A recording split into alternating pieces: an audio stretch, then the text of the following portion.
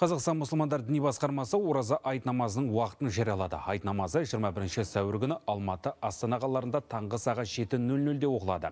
Өзге өңірлерде 6.35-7.30 аралығында басталады. Иә, айт мерекесіне әзірлік әлем елдерінде қызу жүріп жатыр. Таяу шығыста мыңдаған адам базарларға ағылса, Индонезияда ондаған миллион тұрғын қалалардан ауылдарға аттанып жатыр. Ал ауыр экономикалық дағдарысқа ұшыраған Пәкістанда қасиетті айда қайырымдылық жасауға қиынға соғып отыр. Тақырыпты тілшіміз жалғастырады. Бұл әлемнің ең ірі мұсылман мемлекеті Индонезия. Оның тұрғындары айтты мерекелеу үшін қазір қалалардан ауылдарға миллиондап аттанып жатыр. Солардың ішінде тіпті әскери кемеге мінгендер де аз емес. Армия қолбасшылығы болса, мың адамды туған жерлеріне тегін жеткізуге келіскен. біз әдетте мотоциклмен саяхаттаймыз мынадай кемеге тегін міну ғажап қой сенсация емес пе соны сезінгім келеді және де бұл біз үшін жаңа тәжірибе untuk fasilitas біз сәбилер мен аналарға сондай ақ ер адамдарға арналған бөлмелер дайындадық. Медициналық персонал да әзір. Рамазан айы болғандықтан жолаушыларға тегін тамақ беріліп ауызашар жасалады.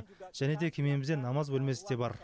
Елдің көлік министрлігінің болжамынша сәуірдің 21-інде пойыздармен, автобустармен, жеңіл машиналармен, ұшақтармен 124 миллионға жуық адам жолға шығады пәкістан болса қазір ауыр экономикалық дағдарысты бастан кешіп жатыр. Инфляция болса шарықтап тұр. Демек жергілікті қайырымдылық ұйымдарында жылдағыдай құрбан байрамда өзгеге көмек көрсететін мұрша жоқ. Сондықтан карачидегі жетімдер үйінің тәрбиеленушілері мейрамға киетін киімдерін биыл өздері тігіп жатыр. Былтыр бізге дайын көйлек сыйлағандар болды. Биыл сырттан ондай көмек келмеді.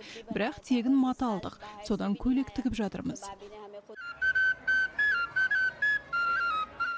Бұл Иордан өзенінің батыс жағалауындағы Хефрон шаһары. Израильмен арадағы араздық шиеленісіп тұрса да, палестиналықтар көңілді.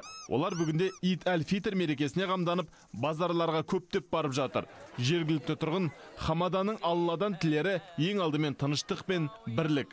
Айта кетсек, таяу шығыста айт айдың туына байланысты сәуірдің 21-інде немесе 22-сінде басталуы керек. Оңғар Алпысбайұлы, Арыстан Рысбек, Қазақстан ұлттық телеарнасы.